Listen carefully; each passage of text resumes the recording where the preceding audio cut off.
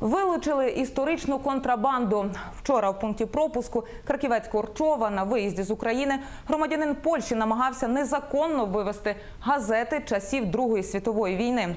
Шість примірників друкованих німецьких видань Третього рейху 1942 та 43 років виявили під час поглибленого огляду автівки.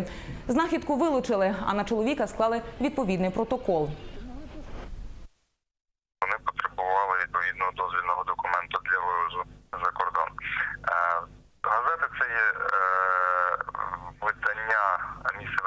Берлін, газетна газет, назва газети «Das І е, в даному е, випадку зараз здійснюється провадження у справі. Е,